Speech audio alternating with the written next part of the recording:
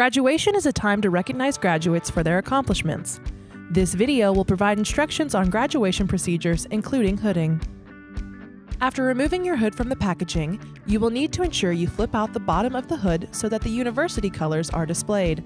Graduates will want to ensure that they have their hood correctly placed on their right arms with the colors towards their hand in order for their faculty member to be able to hood properly.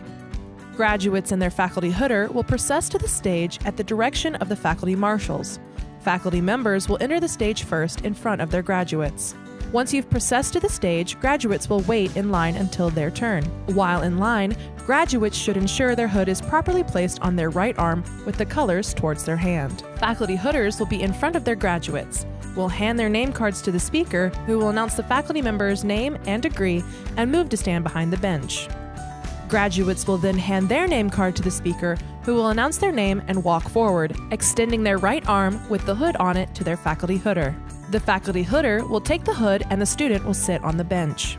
The faculty hooder will take a brief moment to prep the hood and will hood the graduate, ensuring the velvet is facing out. The faculty hooder will ensure the university colors are displayed correctly in the back. Graduates should ensure they are looking forward as there will be pictures taken. The faculty hooder should pat the graduate on the shoulder once they have finished straightening the hood, indicating the student may now stand. Once the graduate stands, they may shake their faculty hooder's hand and then process across the stage to the president, who will present them with their diploma cover and pose for a picture. Graduates will then continue across the stage to shake hands with the other standing members of the platform party. After the faculty hooder hoods the last student, they will follow their student off the stage pausing to shake the hand of the president.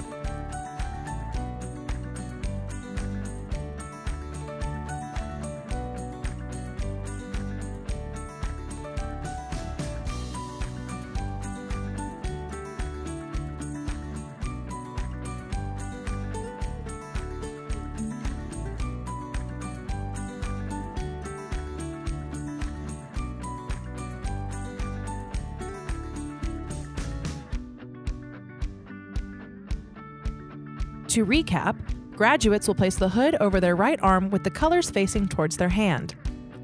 The faculty hooder should ensure the hood has a wide opening to go over the mortar board and is properly placed.